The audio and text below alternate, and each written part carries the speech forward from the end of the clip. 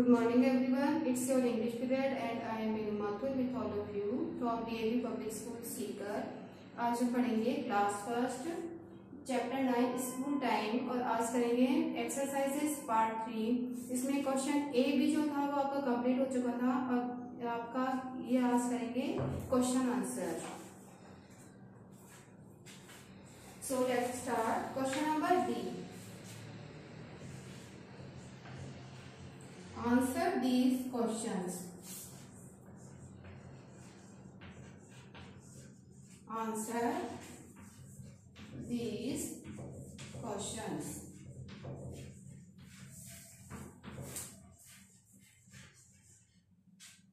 Question number one. Question number one है When is Priyanka ready for school?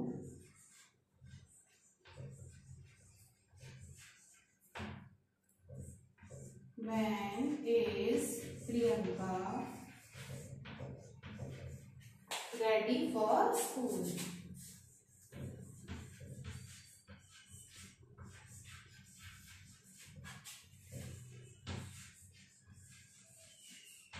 इसमें बताया है कि वह मतलब क्या होता है? कब? प्रियंका स्कूल के लिए रेडी कब हो जाती है? तो इसमें लिखेंगे। Priyanka.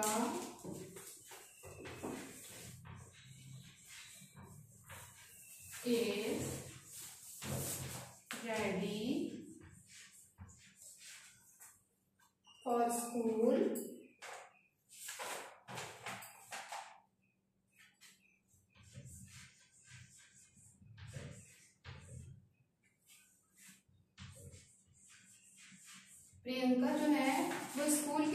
कब हो जाती है?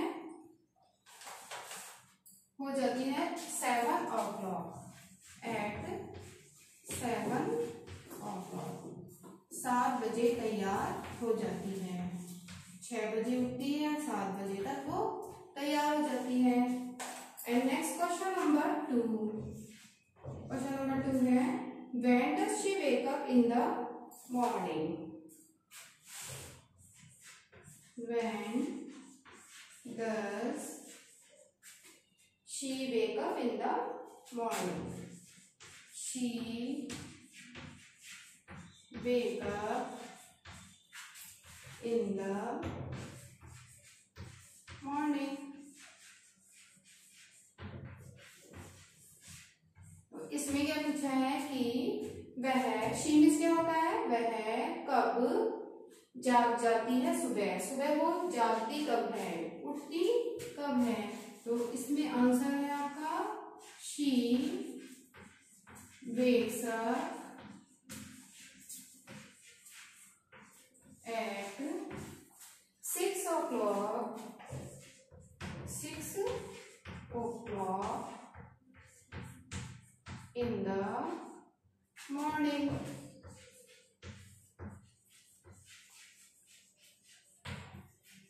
in the morning six o'clock वो उठ जाती है।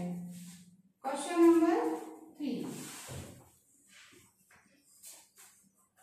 question number three है who gives her breakfast who gives her breakfast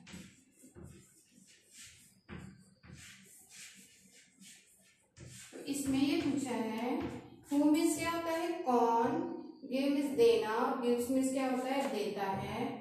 उसको ब्रेकफास्ट कौन देता है? बताओ कौन देता है उसको ब्रेकफास्ट उसको ब्रेकफास्ट देती है उसकी मदर तो यहाँ पर, यहाँ से स्टार्ट करेंगे। हर मदर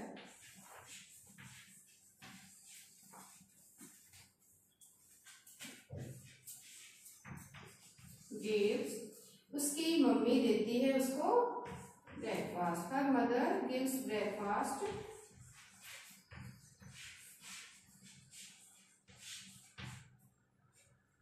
नहीं होगा इसका answer question number four what does Priyanka do first question number four what does Priyanka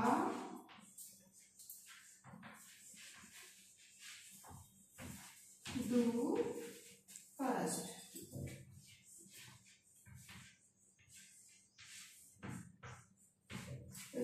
इसमें क्या पूछा है कि प्रियंका जो है वो सबसे पहले क्या करती है? सबसे पहले जब उठती है तो उठते ही वो क्या करती है? अपनी मम्मी को गुड मॉर्निंग बोलती है विश करती है। तो ये इसमें लिखना है at first at first miss होता है सबसे पहले। Eight first Priyanka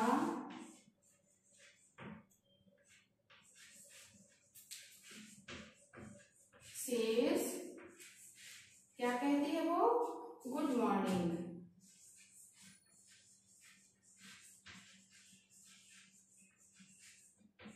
good morning to her mother अपनी मम्मी से गुड मॉर्निंग कहती है और उसके बाद में ही कोई काम स्टार्ट करती है। मतलब अपनी मम्मी से कहती है गुड मॉर्निंग उसके बाद में अपने पापा से कहती है, लेकिन इसमें पूछा है, सबसे पहले क्या करती है तो अपनी मम्मी से गुड मॉर्निंग कहती है, ये काम उसका सबसे पहले होता है। तो question number D has completed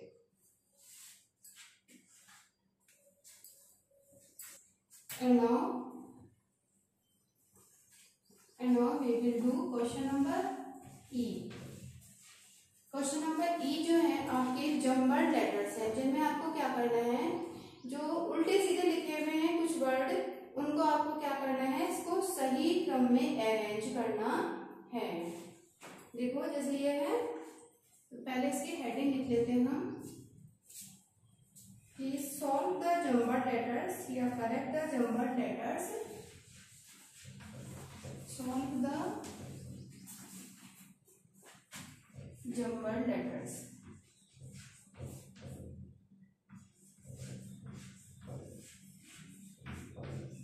Jumble letters है, इनको सॉल्व करना है मतलब करेक्ट करना है। जम्बल लेटर्स क्या होते हैं, जब कोई भी वर्ड उसको हम, उसके जो लेटर होते हैं वो आगे पीछे लिख देते हैं तो वो कहलाते हैं जम्बल लेटर्स अब देखो, जैसे ये है ए टी एस ई ठीक है? इसमें ये जो लेटर है सारे ए टी एस ई ये उल्टे सीधे लिखे हुए हैं मतलब कि ये सही नहीं है। इनका जो क्रम है वो सही नहीं है। अब इनको हम सही ऑर्डर में लिखेंगे, जिससे कि एक मीनिंगफुल वर्ड बन जाए। और वो इस चैप्टर में आया हुआ भी है। तो इसमें हम देखो, जो हम लेटर लिखते जाएँगे उस पर अंडर करते अंडरलाइन करते जाएँगे। ई ए टी एस हो गया ना एक वर्ड ई टी एस इसी तरह से और भी जितने हैं, उनको हम ऐसे ही करेंगे। नंबर टू इट्स मीन्स क्या होता है? खाती है।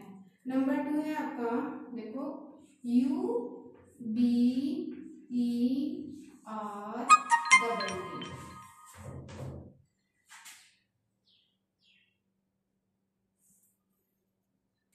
अब देखो, इसको हम किस तरह से करेंगे? सही देखो इसमें है B U double T E R क्या बन गया? Butter B U double T E R हो गया ना butter number three number three है आपका।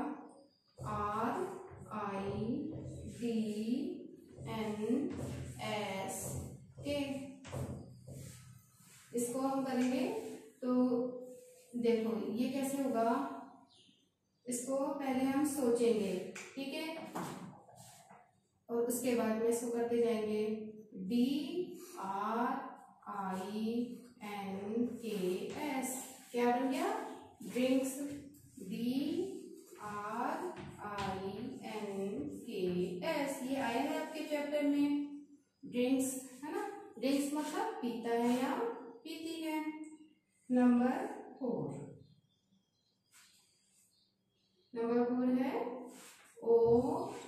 R M I N G N अब देखो, ये देखने में तो ऐसा लग रहा है कि ये तो बहुत बड़ा है, कैसे होगा?